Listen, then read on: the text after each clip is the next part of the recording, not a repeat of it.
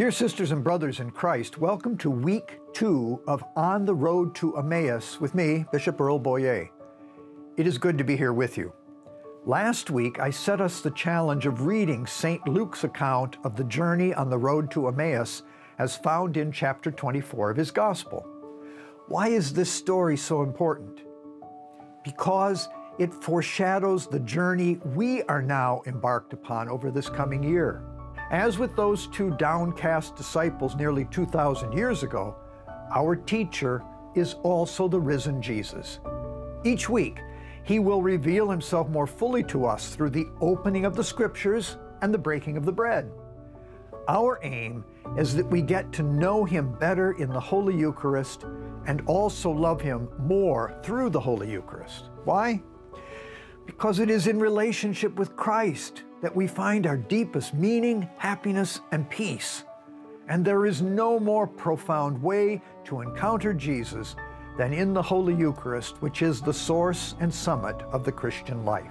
So, my challenge for our second week is this Go into a church over the next seven days, sit down in front of our Lord, present in the tabernacle. Take out a copy of the Gospels. Read the story of the road to Emmaus again. This time, however, I want you to say the words of the disciples in your own voice. Make them your own. Stay with me, Lord, for it is nearly evening and the day is almost over. Did not my heart burn within me as you spoke to me on the way and opened the scriptures to me? Then finally, you were made known to me in the breaking of the bread. Do you want some help regarding what to do and how to do it? Watch this short film featuring one of our fellow disciples who is also on the road to Emmaus. The scriptures are alive. You know, the Holy Spirit has inspired them, and that same Holy Spirit is here today as we read them. And so he uses those words and, and the stories in them to um, move us and shape us, make us holy, um, to teach us, to guide us. I like to think of it as just you know reading the scriptures to find out what God is doing, what God has done, and and what He wants to tell me now. The bishop asked us to read the Road to Emmaus um, from the Gospel of Luke, which was the um, a large section in the middle of chapter 24. It's the second week that he's asked us to, to read it. Um, so he's, he's really been calling us to meditate on this scene um, from uh, the time when Jesus is resurrected. That very day, two of them were going to a village named Emmaus, about seven miles from Jerusalem, and talking with each other about all these things that had happened. While they were talking and discussing together, Jesus himself drew near and went with them. But their eyes were kept from recognizing him. And he said to them, what is this conversation which you are holding with each other as you walk? And they stood still, looking sad. Then one of them, named Cleopas, answered him, Are you the only visitor to Jerusalem who does not know the things that have happened there in these days? And he said to them, What things? And they said to him, Concerning Jesus of Nazareth, who was a prophet, mighty in deed and word before God and all the people and how our chief priests and rulers delivered him up to be condemned to death and crucified him. But we had hoped that he was the one to redeem Israel. Yes, and besides all this, it is now the third day since this happened. Moreover, some women of our company amazed us. They were at the tomb early in the morning and did not find his body. And they came back saying that they had even seen a vision of angels who said that he was alive. Some of those who were with us went to the tomb and found it just as the women had said, but him they did not see. And he said to them, O foolish men and slow of heart to believe all that the prophets have spoken. Was it not necessary that the Christ should suffer these things and enter into his glory?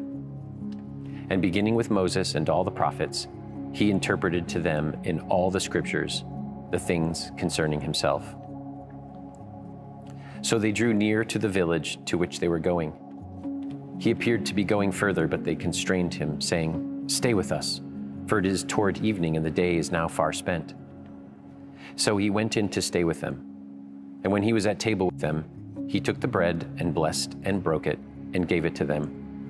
And their eyes were opened and they recognized him. He vanished out of their sight. They said to each other, Did not our hearts burn within us while he talked to us on the road, while he opened to us the scriptures? And they rose that same hour and returned to Jerusalem.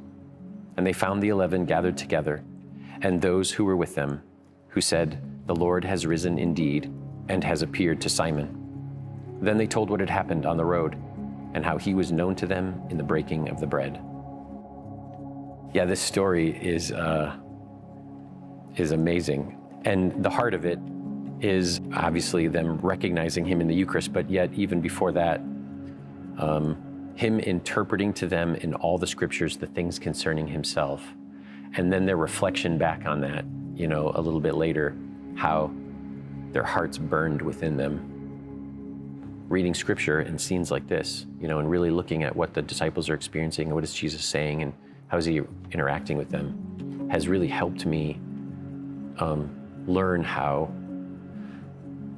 to open myself up to him and, and allow him to be present to me. Because he's, he's, you know, this, the, the catechism in the prayer section says that Jesus thirsts for us. And it says that even our thirst for him is a response to his thirst for us. It's really beautiful, you know, little analogy. And so Jesus is always desiring to be with us. And um, he's right here in the scriptures to present himself to us. Um, but I find that for most of my life, it was me keeping my back to turn to him um, that prevented me from experiencing him. And so as I learned to turn to him, learned to use the, the, the, the, powerful gift of the scriptures to um, let him be present to me, I, my prayer life has grown and I've learned and experienced, you know, learned more about him and experienced his presence more so um, through that practice.